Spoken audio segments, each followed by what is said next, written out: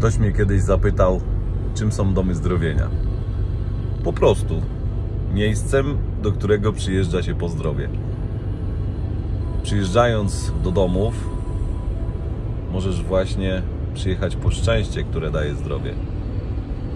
Bo najważniejsze w tym, by być zdrowym, jest chyba to, by być szczęśliwym. Znowu odzyskać to, co dawno temu utraciłaś, utraciłeś, by znowu odzyskać sens życia. I tutaj pomagamy Ci to odnaleźć w sobie. Pomagamy Ci odnaleźć Twój cel, Twój sens, Twoje szczęście, Twoją radość, byś znowu była, był szczęśliwy w tym, co robisz, co robisz, jak robisz, z kim robisz.